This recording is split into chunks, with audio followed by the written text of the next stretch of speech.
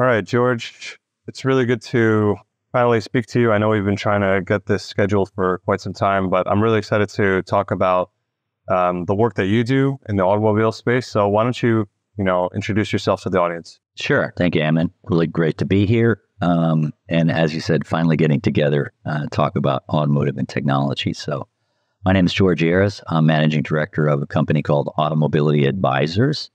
And we're a consulting company within the automotive space, helping startups and smaller companies uh, kind of uh, connect with larger automakers, OEMs, uh, what we call tier one suppliers, and the general ecosystem of uh, automotive.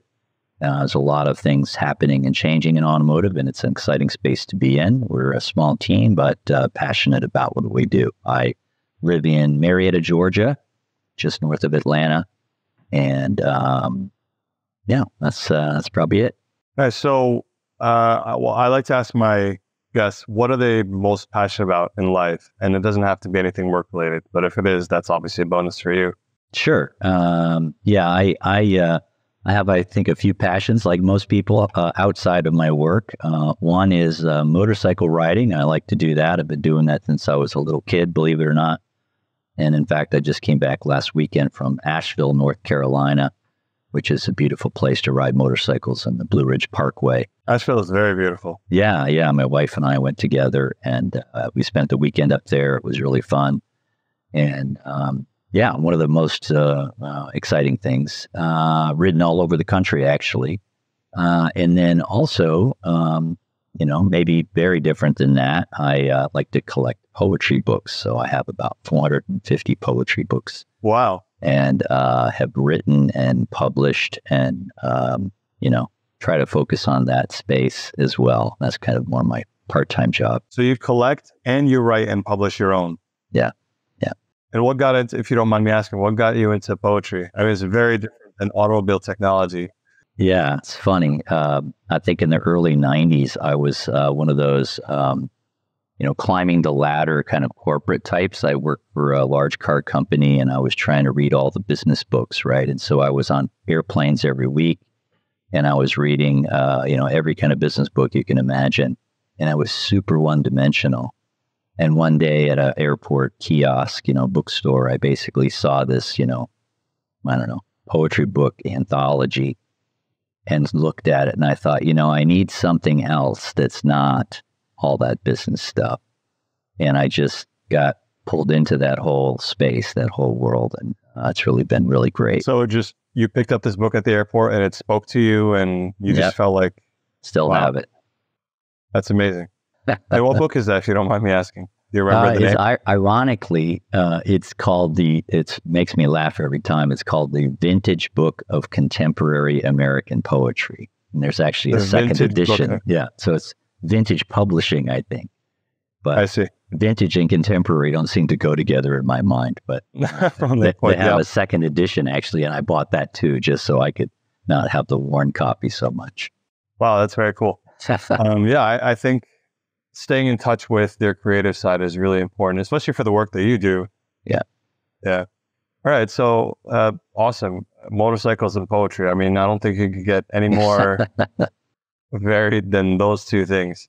So tell us about your, your time in the automobile industry. Um, and uh, I mean, the landscape has changed so much in the last 10 years, especially with Tesla kind of coming in and disrupting. So, you know, from a high level, you know, how has the industry changed as far as your experience goes? Sure. I mean, I've been in the industry, um, you know, four decades at this point. So, uh, really, really interesting. Uh, of course, the whole, uh, you know, the whole concept of, of automobiles uh, is kind of come full circle, right? We're talking about electric vehicles today, but electric vehicles were running around in the early 1900s, right? There was a time when electric and internal combustion were competing for which was going to win.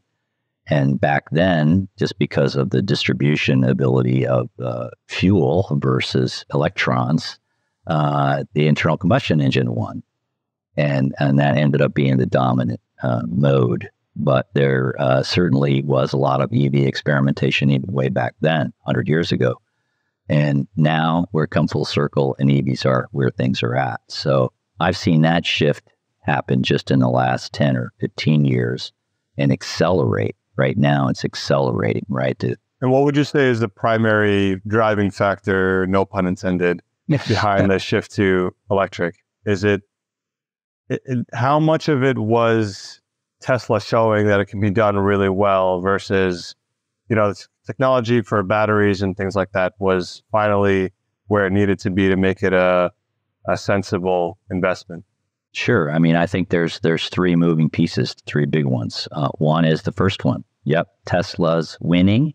People don't, you know, other car companies don't want to just let that happen, and so they start to uh, follow the lead, right? Uh, second, uh, yes, the technology readiness is high. It's much higher than it was ten years ago, right? Battery technology alone is much different, and it's changing even in the last year you know, much different again. Um, and then uh, third is just the environment, the idea of sustainability, climate change, all these kinds of ideas that were not here 20 years ago. Car companies were not really paying attention to any of that. And so they know there's customers that care about that, that use their wallet to, to fuel purchases that align with that or don't and uh, and they need to serve that market, and they recognize that, right? Uh, and so I think those three things, if if the first one hadn't happened, right, if there hadn't been anybody that was successful yet, I think we wouldn't be moving so fast as we are now. Uh, but showing, you know, uh, that success, I think it pulls everybody forward. Uh, I'd also say the U.S. is still behind the rest of the world. China and Europe are way ahead of the U.S. on EVs, for example. Um, you know, I think the the software side, in the U.S. is actually ahead in many ways, but um, you know, it, it it's uh, it's usually many factors, and I think that's the case today.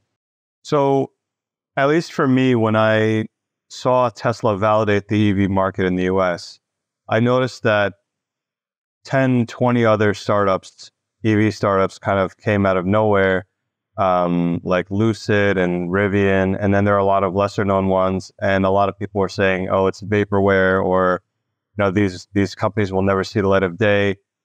Was was this was this more of a salient factor, or or did I notice them more because of uh, Tesla, or were they always there and kind of working in the shadows?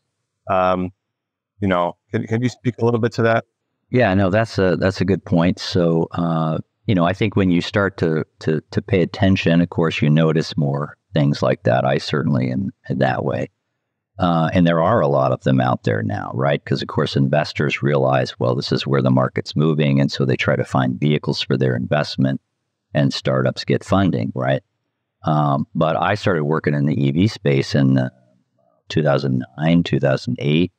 And there was companies like Coda Automotive out there which were uh, you know electric vehicles, startups, et cetera, which turned into some you know Chinese company ultimately. Um, and I worked with a company for a brief time called Mission Motors. Mission Motors was making electronic electric superbikes. You know, really interesting battery powered superbikes. This is uh, you know more than ten years ago.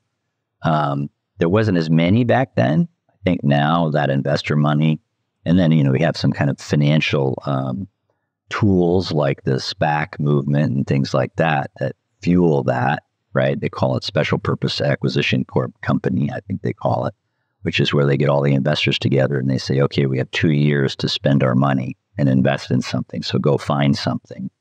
And so that drives a lot of things uh, to happen. You know, we just saw this week Lordstown, Lordstown going out of business, right? Just this week because they couldn't, you know, get their deal with Foxconn to happen.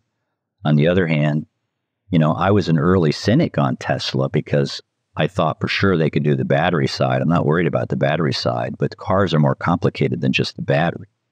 There's a lot of other issues. And what specific what specifically about the development of a car is difficult?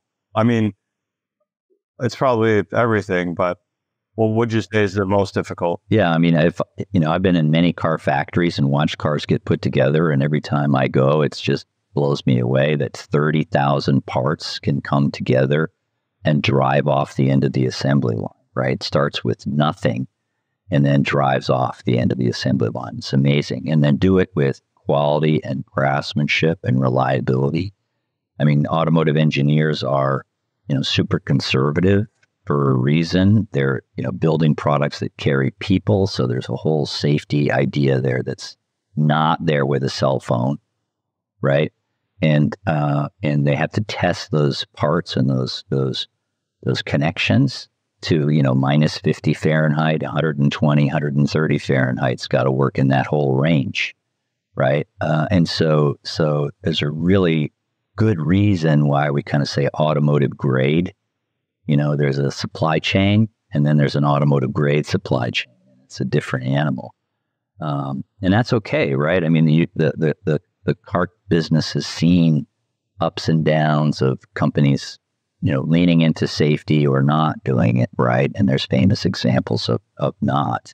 Um, and and now I think uh, it's great that everybody's focused on that, but um, but you know, it's hard and complicated, and it's not really the same as a consumer, normal consumer product because it carries your family. So, on that note, you know, what do you think? Because there's a lot of talk about how Tesla has innovated, not just in terms of using electric, you know, using batteries, but also in terms of their assembly line, the process, uh, fabricating the different units and making like the, for example, the pack that houses the batteries is the structural pack as well as the housing pack. So they've they've kind of streamlined some of those components. Um, do they have that luxury because they're an, a newcomer, or is this something that other manufacturers just? What I'm trying to ask is why haven't the other manufacturers taken these steps? Um, are they uh, doing that? Is it just too expensive to retool, or you know, what, what does that dynamic look like? Well, uh, they certainly are trying to do that. First of all, I think Tesla comes at it from a software company point of view, not an auto company point right? So they come at it with a different, uh, different way of thinking generally, right? And how to put things together and how to work with suppliers and, and how to do more than one thing at the same time and all kinds of agile development, you know, all kind of ideas that we talk about in software. And the car company comes at it from a manufacturing point of view, right? Car companies historically are manufacturing, you know, finance, engineering companies, right? That's that's what their skill set is. They're really actually really good at manufacturing. And there's pros and cons to that, I assume, right? Because I mean, people complain about tests all the time. Yeah, sure. And you know, it's about stability of parts and control, and it's not about changing. It's about keeping everything simple, right? Uh, stuff like that. Now, you know, I, I think Tesla's done a great job. And if you look at even just their model line, reducing complexity, for example, you can buy today uh, an F 150 internal combustion engine F 150 that's ridiculously uh, complicated in terms of its order. You could order, you know, a million combinations of F 150. But on an F 150 Lightning, the EV version, you can order six, eight, right? Simplify. Why? Because they're chasing Tesla's approach and Tesla's way of thinking. Lexus did the same thing. When Lexus came out, Toyota famously made Lexus very simple. Two models, not too many combinations, because they didn't want to have that complexity, right? So, and it seems like the differentiator now is more on the software side than anything because of the move towards electric and simplifying the dashboard and all the different buttons and and features. customer expectations, right? So you and I are used to swiping right on a screen. We're used to that touch screen idea. We expect to see that in our car. I think the big challenge for most automakers now is learning how to be software companies, being good at it, but differentiating themselves within that experience, right? Because if they're all the same, right? When you know you think about CarPlay and Android Auto, you plug your phone in, it works the same. Doesn't matter what car you're in. All of a sudden, it's not differentiated and And they're they're they're historically used to trying to focus on differentiation, right, through sheet metal and interiors and performance and all kinds of other ideas. Now they're forced to try and differentiate through software, and it's really hard for them to think about that. And that's because primarily the the differentiating factors are, I guess it's it's easier for companies now to compete in terms of performance, especially with EVs. I mean, the torque is all there. Uh, so now they have to find other ways to compete, right? Is that the primary reason? Yeah, yeah, that's right. So, so the you know the experience, which can be the driving experience, right? It can be the riding experience for the passengers. It can even be the experience while you're waiting for your EV to charge, right? You're waiting 20 minutes, 30 minutes because you're plugged into the supercharger and they're going to put video games on the front dash. BMW just launched that uh, a few weeks ago, right? Where you can you can basically uh, use your smartphone as a game controller in the front seat of your car while it's charging, right? So it doesn't work while you're driving, but it works while you're waiting. Yes, and I know Tesla has tons of games in their in their uh, on their screen that you can play and you can plug your controller in. I have a very contentious, polarizing topic. Um, so BMW, I'm sure you've you've seen this. They've announced that they were going to experiment with subscription-based features. Yeah. Um, I personally am pro free market. I want them to test it out. I want to see how it goes. I ha- I think there's a lot of pros to doing something like that, and there may be a few cons, but a lot of people are freaking out over the idea of subscriptions in cars. Uh, what is what is your take on that? No, it's uh, it's it's uh, really interesting. Okay, so it was heated seats, I believe, that they started out with, right? So you could download heated seats essentially and use them if you were going to go to the mountain skiing for the weekend. You could could subscribe to that, and so that idea of pay per use, right? I I pay when I need it. I don't pay when I don't need it. I think that's a pretty compelling idea, right? We do that within smartphone world, we do it within computers, all kinds of things, right? And I mean, I have subscriptions on my computer for little tools and utilities that I use to make my experience better, right? And I pay every month for these little tools um, that are valuable to me. They're not maybe valuable to other people, but to me they are, right? So, what do you think of the argument that just you know, since they've already put in the hardware and spent the money, the the customer is entitled to accessing that hardware? Well, you know, I think the the car's capability is there and you paid for the capability and then you can pay to turn it on or not, right? And I think that's reasonable. The the car maybe has uh, downloadable software. I know Mercedes just did this recently to make the performance improve, right? So, you know, I have a car. Let's say let's call it an old school car that uh, when I upgraded the performance, I checked the box when I ordered it with the performance exhaust on it, right? It cost me, I don't know, $1,000 or something for the performance exhaust. I get another five horsepower. But that was hardware, right? Now I can download performance and, you know, get it instantly.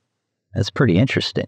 And I think the main benefit is the economies of scale that comes along with, you know, churning out hopefully uh, maybe half the number of models, and then you can, with economies of scale, the, the, the cost of each unit might go down a little bit, um, and then ultimately the consumer can turn on the feature later, even if they weren't intending to buy that feature to begin with, right? Sure. And and there's another big idea here, which is the car companies used to build a car, sell it to a dealer, and the dealer sold it to you. Okay car company didn't sell it to you. The dealer dealerships. Did. That's a huge topic, right? So the dealer sells it to you, and the car company's responsibility at that point was very simple. It was called warranty. If their car broke, they had to pay the dealer to fix it. The dealer still had to fix it, not the car company. But the dealer got reimbursed by the car company, and you didn't have to pay anything because it was under warranty. But that's the only relationship fundamentally that the car company had with you was paying now, in a way, as they use software and other experience ideas and subscriptions to stay tied to you, the car company has a direct relationship with you for maybe many years, maybe as a second owner or a third owner, right? So, for example, in, in my world of connected vehicles, which I spent quite a bit of time in, some of these car companies, BMW is another good example, they turned uh, connected services on for 10 years, which means third owner and fourth owner is going to have connected services. That means the data from those cars are going back to BMW. Right. And so you don't have to even be the original owner anymore to do that. So, how do you think that will affect the relationships with dealers? It sounds like they're taking a, a page out of the playbook from Tesla, who has a direct consumer, you know, relationship. And um, the, for example, uh, over the air updates, right? So historically, that's been very difficult for vehicles. They'd have to literally go to the dealership and sometimes pay thousands of dollars to upgrade the software. Uh, and I know that some of these manufacturers or some of these vehicle manufacturers, they, they can't do that, or at least not in the same way with the dealers because of this kind of um, relationship. How, how do you think that's going to change? Well, I think you're going to see more and more what we call OTA, over the air updates, uh, for sure. There's going to be different ways of doing it. So we've kind of seen, you know, for example, Ford Sync, they had a, you know, an update, let's call it, and they couldn't do it over the air. So they mailed owners USBs, which they had to take into the dealer to have the update installed, right? So they mailed the owner of the USB, and the and the owner still had to drive to the dealership. Yep. Yeah, yeah. So, so, wow. so really old school kind of ways because they didn't have the capability. Why? Because the car didn't have the onboard modem capability that it needed, right? On the other hand, you know, the McLaren F1, when it came out, was over the air updatable, right? On purpose. They did that. Now, they're not selling very many, and they can kind of, you know, carry those really easily, uh, hold the hands of the owner, so to speak, right? And so somewhere in between is where you're going to see a lot of the right answer. What car companies are doing more and more is what we call uh, rolling out campaigns, update campaigns. So they might say, okay, this 500,000 cars all over the U.S. they need this update, and they would use the uh, uh, uh, connected car platform they have. They would use AT&T or Verizon typically as the uh, telecom carrier to help them and they would start to send that data to those cars. Some of those cars are driving around, some of them are in parking garages, some of them are not turned on, right? And so until they're turned on, they're not going to receive that data, right? Some are deep in parking garages, six floors under the ground that are never going to see that signal, right? Until the car comes out, right? So there's all kinds of issues that the engineer runs into where they can't just simply guarantee that when they push the button, all those 500,000 cars get that update. It's a rolling kind of a thing, right? And so it's still better, though, to have that rolling update than to drag the customer into the dealer and have them deal with all that, right? Uh, and even in fact, I think it was GM recently made an announcement. Mark Reuss, I think at GM made an announcement that uh, as they do software updates at GM, they're going to include the dealer in that and the dealer's going to get some credit for that. They're going to participate in that. So the dealer that originally sold the car. Yeah. So why? Because they're bypassing the dealer in a sense, right? And so there, there's a way of mollifying the dealer base a little bit by including them, which is pretty interesting. That makes sense. So can we? T- I want to take a step back and talk a little bit about the startup world of auto. Sure. Um, can you kind of explain what is the c- competition like do they ever hope to see the light of day? Do you, or is this mostly a play overseas outside the U.S. where it's a little bit maybe easier to um, to enter this market that's ultra competitive and you, you mean for EVs or generally for automotive? Generally, yeah, the startup world of, of automotive. I mean, I, I think um, you know you can you can think about uh, various car companies over time that started and didn't survive in automotive there's a lot of brands right now that aren't here anymore, right? Plymouth, not here. Mercury, not here. I, I started at Ford. You know, Mercury was a brand we had, it's not here anymore.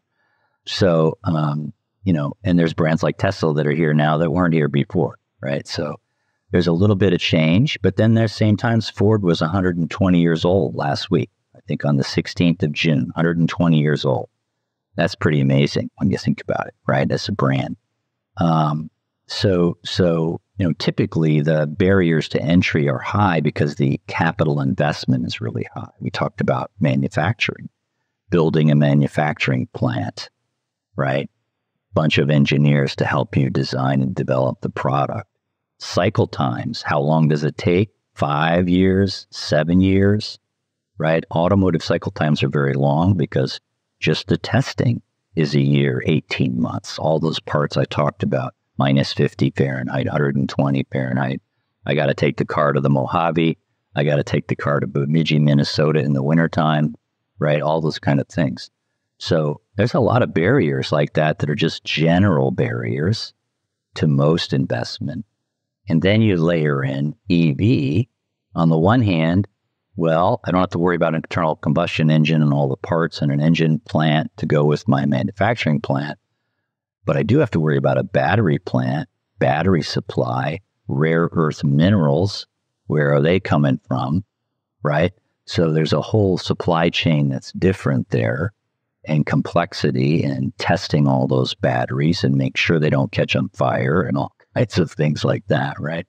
So, you know, and then you have the design. I, you know, you still have to build a car that, you know, is appealing on the outside, that's comfortable on the inside. So you need traditional suppliers to give you seats and steering wheels and all the usual pieces, plus non-traditional suppliers to help you with the software side and do all that work because no one company can do all that, right? So, uh, super complex um, effort. And that's why you see, you know, I watch Lucid very closely. Lucid, I, I was following a Lucid Air the other day on the road when I was riding the motorcycle, and a beautiful car. It's a beautiful car, right? And Peter Rawlinson and company have done a great job. Uh, but it's really hard to put together a car with high quality that everything fits together, everything works for a hundred thousand miles, right? No matter whether it's powered by batteries or powered by fuel or hydrogen, I don't care. It's still hard. And this idea of craftsmanship and quality is really important. And consumers like you and I, our expectation is much higher today about that than it used to be, right? What you could get away with in 1950 is different. So the barrier to entry is even higher now. Yeah, barriers to entry, I think, are high. You know, but on the other hand, automotive as an idea is more interesting to investors than it used to be because of Tesla, because of EVs, because of climate change as a context. Much more interesting. So the money's flowing into the industry. And so there's always going to be startups there that say, hey, I can do that. I have a better idea. Right. Um, I think one of the things I've learned is think back to um, when the Japanese launched their luxury brands, right? Lexus, Acura, Infiniti they all started with two models. Remember, they didn't have just one, they had two because you got to have enough, you know, kind of starter scale to get the dealers and other participants to to to, you know, be successful as well, right? It's not you can't do it by yourself. And so when you see Tesla with four models, you start to see Lucid working on other models. Rivian has more than one. That's really important have that portfolio of, of vehicles. And that means you got to do maybe one for plant, but you got to do two or three designs of different vehicles, and there's different parts, all kinds of things there. So tell me, tell me about the work that you guys do as advisors. Do you work mainly with startups or mainly with uh, bigger companies or all across the board? And do you have any like cool stories about some of the work that you've done that you're allowed to share? Uh, sure. Yeah, sure. So uh, I would say mostly startups and smaller companies, uh, typically 100 people or less kind of size company, usually five years old or less. Um, not always. We have a couple of clients that are bigger companies, uh, clients that are in the digital engineering space, or they have particular solutions um, that are that are automotive relevant. Um, but and that's because people find us and they say, "Hey, can you help us do this or that?" And that's pretty fun. Are these U.S. based? Uh, our our clients are mostly U.S. and Europe at this moment. We have clients in you know, Italy, for example, um, and then uh, and Switzerland, um, and mostly U.S. and Europe. I would say we we we certainly communicate and speak with OEMs that are in Japan, that are in uh, you know uh, Korea, that are in Europe.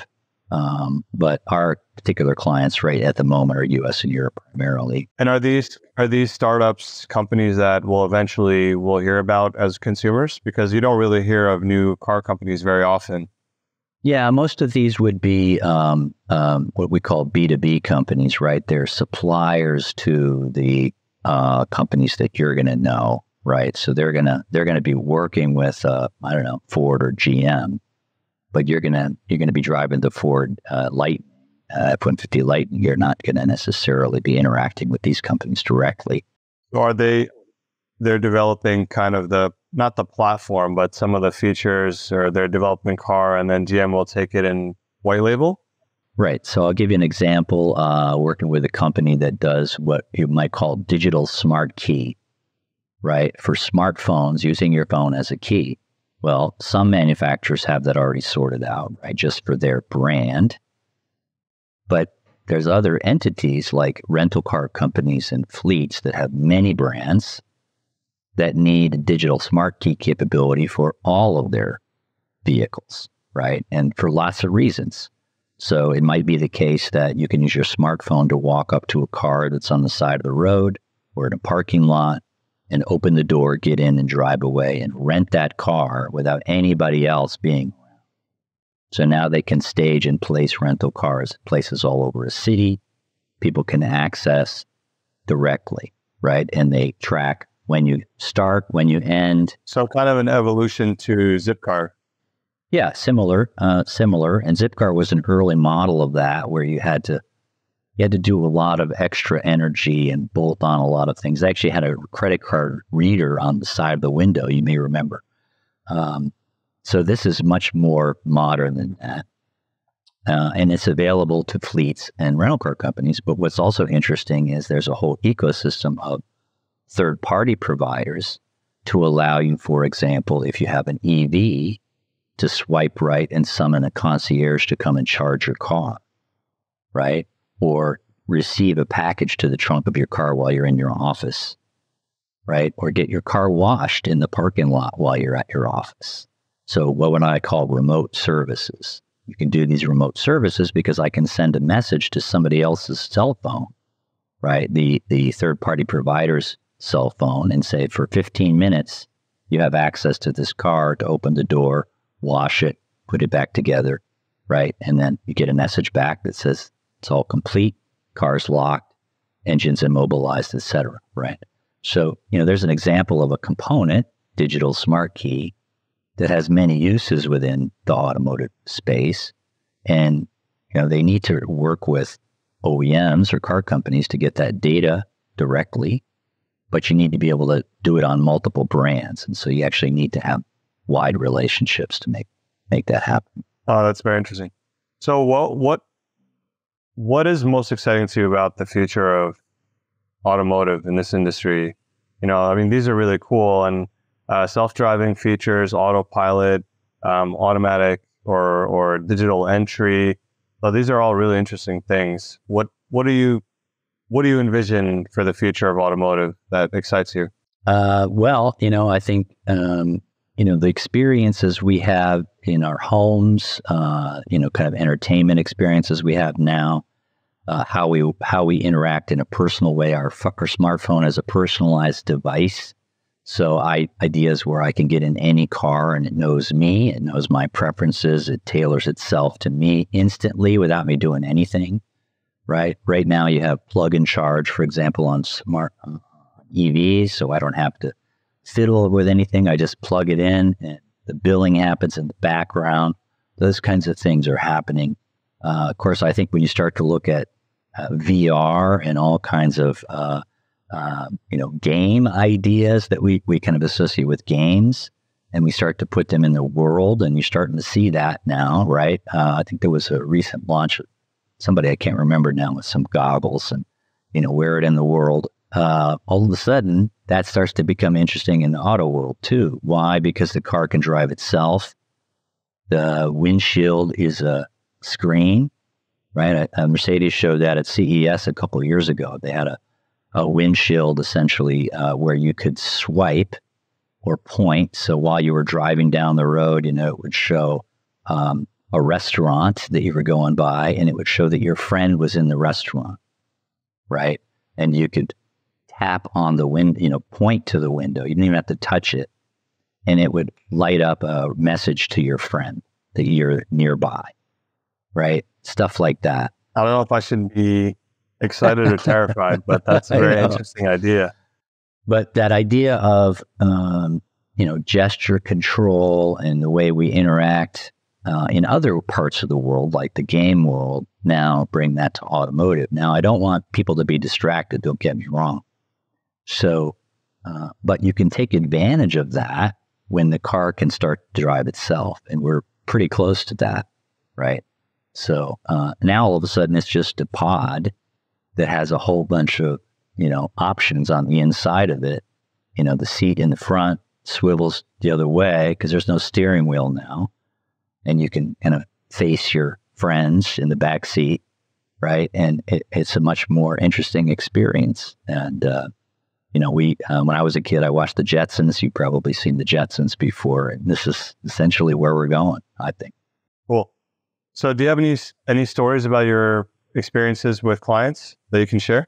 Uh, yeah, a couple of them. Uh, maybe one interesting one. I worked with a company that does battery data analysis, which was interesting. And um, there was a famous uh, recall a couple of years ago by a large, I'll say, American car company, uh, where they had to recall all the vehicles. I think it was 140,000 vehicles for, um, you know, catching on fire. Right, these these battery electric vehicles some of the batteries weren't so good. So uh, they had to to worry about that. So they had to bring all the owners back in. They spent a billion and a half dollars to do this recall. Uh, and this uh, this company that we worked with, really interesting. Uh, they they basically did an uh, what the army would call an after action review, right? So what would you you know how would you have won the battle, right? That kind of thing, and you talk about it afterwards. A post mortem Post-mortem, right. So they took the data, sample of the data, and they basically said, you know, if you'd have done all this in front at the front end, if your uh, uh, battery supplier had given you this data on the front end, you would have only had to recall one percent of those vehicles. It would have cost you, you know, ninety nine percent less, right? Because you could only worry about the ones that were, you know, manufactured incorrectly that had the pro- problem, and not everything and and that's to me that that that highlights kind of the old school mindset versus new school for automotive, right? The old school was we don't really know, and so we'll just bring everything back and let the dealer fix it, right? We think some are the problem, and that's a very classic recall problem. And the new school of analytics, data, more precision, algorithms, we can figure out with super high confidence exactly what the problem is and only deal with that particular subset, right? And, um, you know, I think that's where we're going to get. We're, we're getting much more precise generally as an industry because of things like that. That's very interesting.